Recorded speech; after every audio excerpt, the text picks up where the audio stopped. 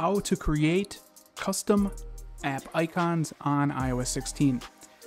Now, this is a very similar process as it has been in iOS 15 and even iOS 14, but it is slightly different, so I figured I would do a updated video showing you guys how to create these custom icons.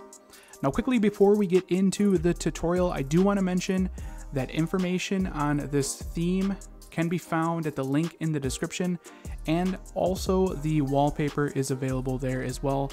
Uh, it is just a post to my website, which is a step-by-step -step guide uh, for creating these custom icons. So you can find the wallpaper and the theme information there. So it is the top link at the, in the description. So be sure to check that out if you guys want either of these. But anyways, to create a custom icon on iOS 16, what we're gonna do is go into the Shortcuts application and we're gonna create one. It's really quite easy. You click the plus button in the upper right, you do add action, we're gonna do scripting, open app, we're gonna choose the app we want the custom icon to open. Uh, just for example, I'm just gonna do the messages application. And then here's where it's a little different to add the icon to the home screen.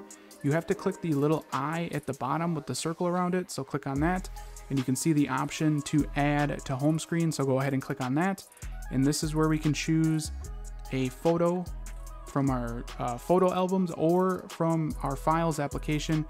For those of you that have been subscribed for a while, you know that I have a huge library of awesome themes in my files application. So I'm gonna jump in there and this is Raspberry. This is a different theme. We're gonna go into Killa by Themes on Fire. So let me go ahead and find that theme and then we will choose a uh, icon to use for the messages app from here. I'm just gonna pick one at random. I don't wanna search too long. We'll do, we'll do the Apex Legends icon for messages.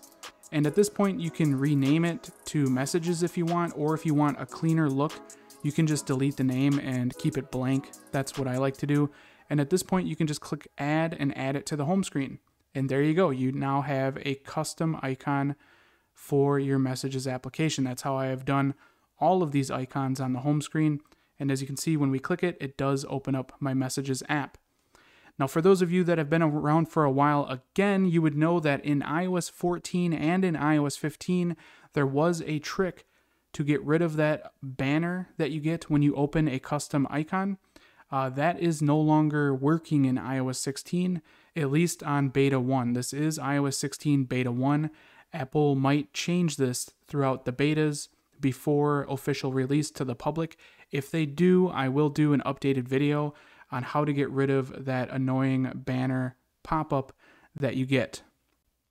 Now also I want to mention that we can jump back into the shortcuts application and that shortcut that we created for uh, the app icon to open up messages, we can select that and delete that. We do not need the shortcut anymore. We just needed the app icon.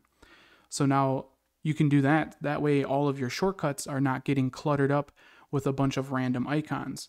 So now that I have deleted the actual shortcut, you will see that the app icon still opens up the messages app. And that's pretty much all there is to it. That's how you can create custom app icons on iOS 16. Again, wallpaper and theme information, link in the description. Hopefully you guys enjoyed this video. If you did, definitely throw me a thumbs up. That helps me out a lot here at the channel. And if you guys want to see more videos like this in the future, don't forget to click that subscribe button. This has been IDM, and I'll catch you guys in the next one. Later.